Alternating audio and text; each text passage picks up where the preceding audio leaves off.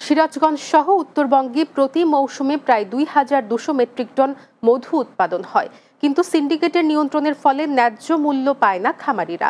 মধু সংরক্ষণ ও সরবরাহে দেশে দীর্ঘদিনেও গড়ে ওঠেনি স্বাস্থ্যসম্মত পাত্রের কারখানা। ফলে বাধ্য হয়েই পুরাতন রাসায়নিকের পাত্র ব্যবহার করছেন খামারিরা।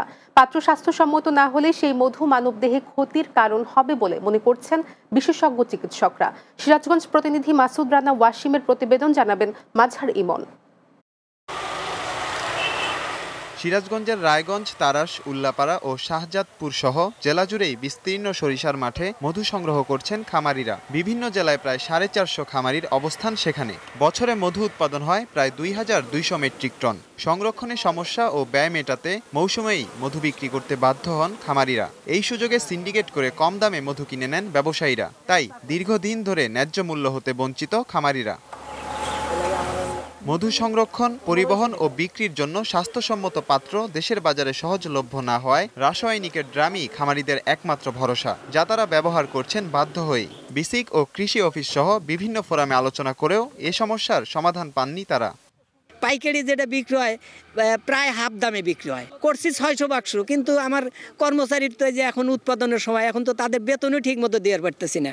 এই খামারিদের কোনো নিরাপত্তা নাই এবং আমাদের বাজারের একটা সিন্ডিকেট আছে। তো আমাদের তখন দুইশো টাকা নিয়ে সাতশো টাকা কেজি বিক্রি করতেছে। এই হাজার হাজার টন মধু উৎপাদন করি।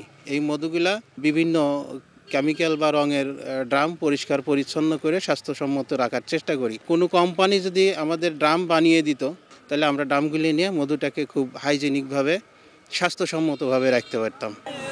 সমস্যায় থাকা মধু শিল্পের উন্নয়নে কৃষি অফিসের ভূমিকার কথা জানান সংশ্লিষ্ট কর্মকর্তা। আমাদের মৌচাষিরা যাতে করে উন্নত মানের পাত্র স্বাস্থ্যসম্মত পাত্র যেখানে মধু সংরক্ষণ করা যাবে এই ধরনের পাত্রের উপরে আমরা উদ্বোধন কর্তৃপক্ষের সাথে আমরা কথা বলব। এসব পাত্রে রাখা মধু মানবদেহে জটিল রোগের কারণ হতে পারে বলছেন বিশেষজ্ঞ চিকিৎসকরা। এই কন্টেনারগুলো আসলে কতটুকু স্বাস্থ্যসম্মতভাবে পরিষ্কার করা যাচ্ছে? বা হচ্ছে স্বাস্থ্যসম্মত কন্টেইনার বা পাত্রের মাধ্যমে মানে ওনারা ওনারা সংরক্ষণ করতে পারেন এবং সেটা মার্কেটিং করতে পারেন, সেই ব্যবস্থাটার জন্য করা হয়। বিসিকের উদ্যোগে উনিশশো সালে দেশে বাক্সে শুরু হওয়া মৌচাষ আজও ঘুরে দাঁড়াতে পারেনি। সম্ভাবনার এ খাতের সমস্যা দূর করতে মধু সংরক্ষণে স্বাস্থ্যসম্মত পাত্রের সহজলভ্যতা নিশ্চিতে সরকারের প্রয়োজনীয় পদক্ষেপ চেয়েছেন খামারিরা। News desk, Bangla TV.